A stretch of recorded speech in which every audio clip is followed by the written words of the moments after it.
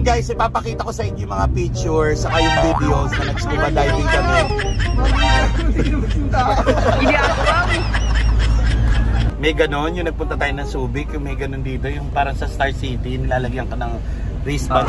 Anong kailangan kong gawin upang malaman mo? Di ba Iris? Sige, one, two, three. Buti dinosaur. Dinosaur Stefano. Jolly, jolly. Ito ha, plano natin. Pag medyo okay yung kita natin, sunod na pupuntahan natin, Coron, Palawan naman. Isa parang ang hina naman ng energy. Palakpakan na may kasama iyawan!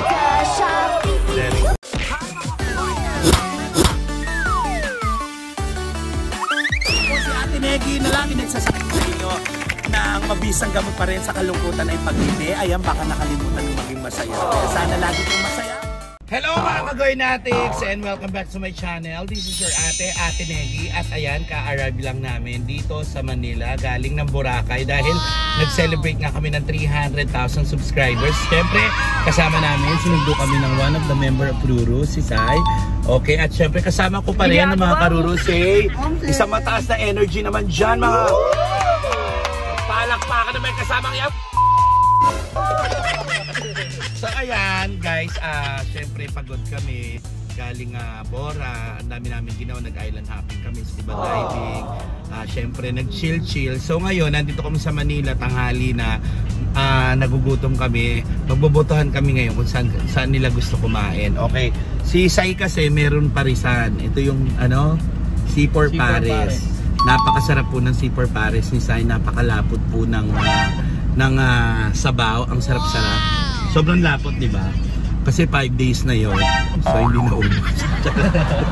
Hindi, masarap talaga. Sa, sa may longos malabon yan. Magbobotohan tayo. Saan nyo gusto kumain? Sa C4 Pares ni Sai. Taas ang kamay. Okay. Walang bumoto. Korean. Korean. Wala. Walang gusto may gusto Oo. Okay. Jollibee. So,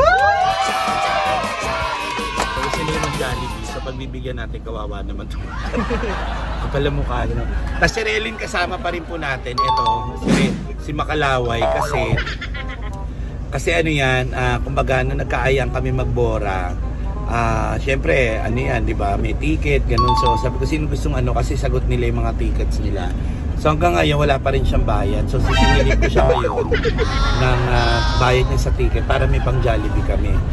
Ako na So, so nakasalalay kay Relin yung pang Jollibee natin, mga karuro. Kaya ano masasabi niyo sa kanya? Bayad! Bayad, bayad, bayad. Ano? Siguro Paris na lang. Alam mo magja-Jollibee tayo, Relin eh. Magbayad ka na. Magkano yung ticket mo? 4,000 yun, 3,000 na nga lang. Na, lang naman. Anong kalahati nga pala mukha mo sa window ka pa nga, di ba? Hindi ka natulog kasi first time mo sumakay ng eroplano. di ba? Tapos kabang ka pa siya kasi sabi ko pag first time mo sumakay ng eroplano, ikaw maglilid ng prayers. Di ba? Ano masasabi niyo sa Boracay? Lalo ka na rally. Anong ah, masasabi mo sa Maganda sa Boracay. yung energy naman anak ng teteng na Ng scuba, diving. ginawa. Oo. Maganda kaya hindi ako tumagal eh. Bakit? Sakit sa tenga. Ha? Ayun, sabi sa akin magaling daw ako sa swimming pool. Pagdating sa dagat, hindi na. Okay. Bakit kung mamatay ako doon? Pilit ko doon. Tapos si Jan, ikaw Jan, ano man sabi mo sa Kaya lang, natahimik na ng Boracay. Talaga? Masaya dami. kasi ang tahimik mo? diba? Hindi kagaya da. So, hindi kasi si Jan Jan nakapagbora na. So, parang ang laki na pinagkaiba, di ba? So, si Seth, Seth, ano masasabi mo sa Bora? Pas ako dyan. Basta ko dyan, boss. Baka masarap libre. hindi, si, Maganda dati. si Seth kasi, di ba, nag first time niya mag-clip diving. So, ano masasabi mo dun sa clip diving niyang parang si Bema sa ere? Ayun, sumagot ni Seth. Hindi ako kami. Ano siya? Ano masasabi mo dun sa clip diving? Nakakatakot. Nakakatakot. May matching siya kumakain puno-puno ng kanin. Matching si Ken. Puro kanin na. Sino? Kanina. Oh, ito. Si Adeng. Adeng, first time mo sa Boracay. What can you say about Boracay? Napakasolid, mga ano, Hindi, ano man sabi mo? Ano, magkwento ka ng konting experience mo sa Boracay. Ng mga activities, lalo ng scuba. Scuba. First time mo yun, di ba? Oo, So ayan guys, ipapakita ko sa inyo yung mga pictures saka yung videos na nag-scuba diving kami. Hindi ako. Alam mo ba't ganun? No? Wala tayong picture na maganda dun under the water. Lalo ikaw, Adeng, di ba? Ano masasabi mo dun sa... Ang kulit na hindi natuloy. Ang kulit na hindi natuloy. And of course, si, ano, si SM. Uh, what can you say about your experience? Nagpapasalamat kami sa'yo kasi kami, kami lalo ako. Tapos, Lalo ako, si Adeng, si Leo. Kasi, mga di pa namin napupuntahan, Oh. nadala kami ni Mami si Don. Nang una, At talaga. yung si- Tapos ngayon, nagburakay tayo. Ano? Parang iiyak yata sa SM. Saan naman next? Saan naman next? Hindi, baka kurang tayo ngayon. alam mo, magpasalamat tayo sa mga subscribers natin kasi Thank you, Bumati. Dahil dahil sa kanila na-experience natin tong ah, mga ganitong lakad. Ikaw, Lay, ano masabi mo sa ano sa Boracay experience natin? Sobrang saya. Pero, masaya pa rin noon, pero masaya pa rin ngayon. Oo. Konti lang tao. Oo. Ah, hin- hindi nyo lang hindi lang kasi nila abutan yung ano, yung sa Boracay, yung talagang yung nightlife, 'di ba? Pag pupunta tayo ng Bora, iniisip ng mga tao yung party-party. Tapos kasi may curfew pa rin. Kita ko kasi si Relly nagtampo. Nagtampo di tayo kasi nadapuan ka ng ano, yung nasa Lagubang. Yung laki yun, sa Lagubong may ganun yung... Sa Lagubang yun. Sa Lagubang yun, yung sa yun yung nilalagyan ng chiclet sa likod. Nawala ng Nawala ng ginto si Adeng. Oo. Nawala ng ginto si Adeng kasi hindi pa rin siya bayad kagaya ni Relly. Kasi ganun yun eh. Sabi ko, ilibre ko kayo sa Boracay. Ito po yan, si Makalaway, ayun po si Ading Ho. Kaya po Ading Ho, ma- ano, kasi yung short niya may dilaw na lining na gano'n. Nakarating ng Siargao. Papunta yun ang suot niya, tapos pauwi yung padet. Tapos kanina, ano isang gabi, gigimik kami, inom kami saan tayo minom na? Ombar. sa Ombar, yung pa rin na susuotin niya. Tapos nung umaga, yung pa din susuotin niya. Sabi ko, baho na siguro ng itlog mo din. Ewan ko, ba't mo ba paborito yung shirt na yon? Kaya mga kagoy natics, yung mga subscriber ko, baka may mga lumang shirt kayo, bigay naman natin kay Ate. Kawawa naman hindi nagpapalit ng shirt. So ayun, ah, tapos si Relin, ano pang masasabi mo sa Boracay, Relin? Kasi first, ikaw ang ano eh, first time mo mag first time mo mag eroplano, first time pumunta ng Boracay, tapos umuwi ka na may mga ganyan kang accessories. Bak bakit bumili ka ng ano? Kasi dati nakikita ko sa nung elementary pa ako, ngayon lang ulit ako nakakita nito. Kaya bumili ako ng ganito. Oo, Saka wala na nito masyado sa Manila. Oh, saka Kaya eh, nakita ko doon, binili ko na lang. saka cool lang dating no. Patingin pakita mo naman. Ayun. Bakit bili mo diyan? Ano, 120, dalawa. 120. Pwede na not bad. 120 dalawa. Hindi ko lang alam kung hanggang bukas pa to, tatagal. Feeling ko kasi nung nag-ano tayo, nung may ganon, yung nagpunta tayo ng Subic, yung may ganon dito, yung parang sa Star City, nilalagyan ka ng wristband. Anong kailangan kong gawin upang malaman mo? Di ba yung wristband na nagpunta tayo sa ano, sa ang resort yun? Di mo tinanggal yun, ang tagal, di ba? Sa White Rock. Para sa hospital, no? So ayan, bago ang lahat, maraming maraming pagpasalamat tayo sa La Carmela de Boracay. Thank you. Thank you so much La Carmela. Kay Sir Boy, ah, kay Ma'am Love, maraming salamat din. And of course kay Gian, thank you. Sa Calypso, ayan, thank you. Maraming salamat. Kay Petit kasi kasama namin. So abangan ninyo yung mga vlogs namin.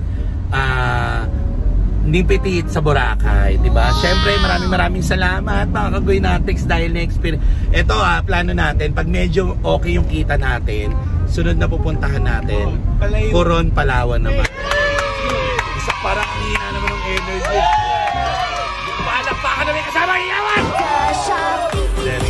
So hindi nakasama si Sai kasi nga busy siya. Nag-aayos siya ng requirements niya kasi mag ano siya si Sima na. So gusto niya tumira ng pugita dun sa taas. di ba? Hindi kasi di ba pag Seaman, di ang tagal nyo, wala akong ano nun. Sari-sarili ka lang nun. Feeling ko magagamit mo dun yung advice ko, yung pagka talagang walang-wala na, utog na utog ka na. Yung puset. Oh, yung tam, itamtax mo sa lamesa, yun ang banatan. so parang feeling ko magamit yun. Kailan ba alis mo? March or April. So mababawasan ng mga karuro natin kasi aalis na si Kuya Sai. Pero pag uwi naman yan, siya naman manlilibre pa Boracay. Eh, baka sayan. Saka masaya ako sa kanya kasi sa ibang bansa siyempre malamig doon. Mada, 'Di ba? Maano maligo. So babalukubakin siya ng buong. Balakubak na doon yung bloke-bloke na talaga. Panoorin niyo tong Jolly, ay Jollibee, panoorin niyo tong vlog na to para makapag-Jollibee. Okay. Sige, one, two, three. sa ano, sa Shopee. Puta, dinosaur. Dinosaur, Stefano. Jolly, Jolly. Okay, one, two, three. Ikaw pa na yung ano sa akin.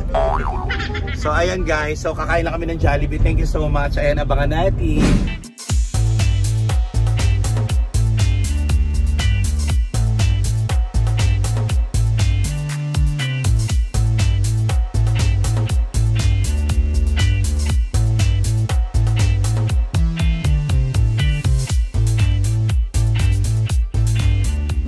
Guys, nandito na tayo sa Jollibee. Kagaya ng ipinangako ko sa mga karuro pa. Ititreat ko sila sa Jollibee kasi ako actually, paborito ko talaga ang Jollibee. Layo, la, ah, talagang pagka medyo may pinagdadaanan ako, Jollibee lang na napapasaya na ako. Siyempre, bida ang saya dito no, sa amin. So, tayo lang namin yung order. Nakakatuwa kasi, di ba dati hindi ka pwede mag-dine in ng ah, marami kayo, pero ngayon it's okay, okay na. Kaya nakakatuwa, pwede na kayo kumain ng sabay-sabay. So, papapicture sila. Ganyan naman yung papapicture. Tapos pag uwi sabay, didelete. Tapos hanggang sa wala na matira. Ang pangit pala ng Meggy, delete, delete. So, eto po si, papakilala ko sa inyo mga karuro. Si Sai, si Lizette, si Le, si Labo, si Adeng Ho, si Janjan, tapos si Makalawan. Tapos yung cameraman natin, si Stefano. Pakita ko muna. Nanawagan pa ako sa Jollibee. Baka naman po. Kahit gift certificate ko. So ayan guys, tapos na kami kumain dito sa Jollibee. At syempre, alam mo na, paborito namin talaga itong Jollibee. Ayan, nag-take out pa ako para sa mga pamangkin ko. Dahil nga nagsiselebrate tayo na 300,000 subscribers natin. At syempre, ah, bago tayo mag-DM, malapit na kami sa bahay. Gusto muna magpasalamat sa lahat ng mga kagoynatics natin na talaga naman patuloy na nanonood ng mga vlogs ko, vlogs ko, kahit wala namang kakwenta-kwenta. So alam nyo na, maraming maraming salamat talaga. Salamat mga Rugi Boy sa mga karuro.